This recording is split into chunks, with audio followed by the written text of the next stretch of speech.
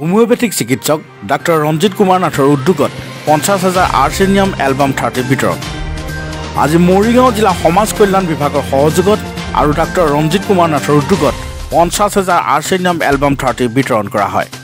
এই উপলক্ষে ভোৰবন্ধাৰ সংহত শিশু উন্নয়ন প্ৰকল্পৰ সভাগৃহত অনুষ্ঠিত হোৱা এখন সভাত অংশগ্ৰহণ কৰি ডাক্তৰ ৰঞ্জিত কুমাৰ নাথে মন্তব্য কৰে যে হোমিঅ'পেথিক চিকিৎসা শাস্ত্ৰই পূৰ্বৰে পৰাই মানৱ শৰীৰৰ ৰোগ প্ৰতিৰোধৰ বাবে আৰ্চেনিয়াম এলবাম থাৰ্টি ব্যৱহাৰ কৰাৰ পৰামৰ্শ দি আহিছে।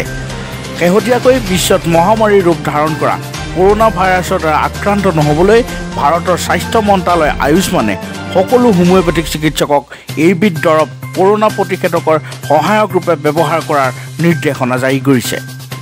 মৰিগাঁও জিলা প্ৰশাসনেও শেহতীয়াকৈ জিলা সমাজ কল্যাণ বিভাগৰ সহযোগত অংগনবাদী কৰ্মীসকলৰ জৰিয়তে প্ৰথমবাৰৰ বাবে পঞ্চাছ হাজাৰ আৰ্চেনিয়াম এলবাম থাৰ্টি বিতৰণ কৰে। এই সভাত পৌৰোহিত্য কৰা মৰিগাঁও জিলা সমাজ কল্যাণ বিষয়া দেৱজিৎ বৰাই আন্তৰ্জাতিক খ্যাতিসম্পন্ন হোমিঅ'পেথিক চিকিৎসক ডাক্তৰ ৰঞ্জিত কুমাৰ নাথক এনেদৰে বিনামূলীয়াকৈ ঔষধ বিতৰণ কৰাৰ বাবে ধন্যবাদ জ্ঞাপন কৰে। তেওঁ এইখিনি ঔষধ প্ৰয়োগৰ দ্বাৰা কৰোণা মহামাৰী প্ৰতিৰোধ কৰাত সহায়ক হ'ব বুলি আশা প্ৰকাশ কৰে।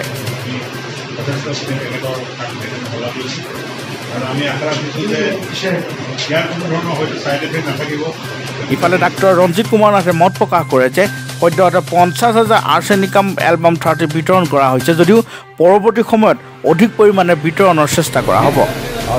আজিতো মই পঞ্চাছ হাজাৰজনক দিম দিছোঁ। আজি মই পঞ্চাছ হাজাৰজনক দিছোঁ। আৰু আগন্তুক দিনত চেষ্টা কৰিম মই। মৰিগাঁও জিলাখন কভাৰ কৰিবলৈ চেষ্টা কৰিম। কিন্তু সকলোখিনিতো মোৰ সম্ভৱ নহ'ব। আৰু যদি আৰু সহায় পাওঁ তেতিয়া সুবিধা হ'ব। সভাখনত ভোৰবন্ধা আৰু লাহৰীঘাট দুয়োটা সংহত শিশু উন্নয়ন প্ৰকল্পৰ দুয়োগৰাকী বিষয়াৰ লগতে মৰিগাঁও জিলা সাংবাদিক সংস্থাৰ প্ৰাক্তন সভাপতি বিৰিঞ্চি কুমাৰ শৰ্মা আৰু স্থানীয় কেইবাগৰাকী ব্যক্তি উপস্থিত থাকে। সভাখনত সামাজিক দূৰত্ব বজাই ৰাখি ঔষধ বিতৰণ কৰা হয়। আগতে মইতো মোৰ ব্যক্তিগত চেম্বাৰত মই ঔষধবিধ দি আছিলোঁ।